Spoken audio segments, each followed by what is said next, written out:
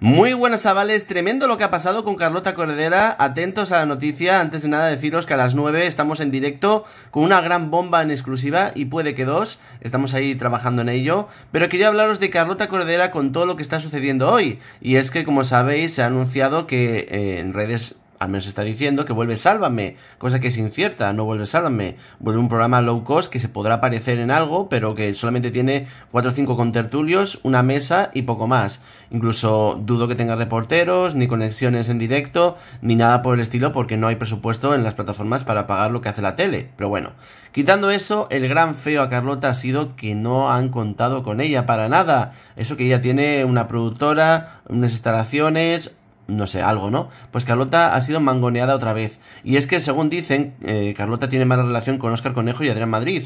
Eh, ella se iba bien con David Valdeperas, pero con ellos dos en concreto no. Por eso no cuentan con ella. Es decir, cuando se fue de Mediaset, no solamente se fue eh, por culpa de la cadena, sino también porque tiene mal rollito con la fábrica. Y una vez más, esto queda en evidencia. ¿Vosotros qué pensáis del futuro de Carlota Cordera? Que cada vez es como más complicado de ver. además, hay que decir que esto de que esté todo el día defendiendo las causas de la igualdad, y un momento que cansa al público y ese rechazo sigue ahí. Comentad, opinad, suscribiros, gracias de corazón y a las 9 nos vemos.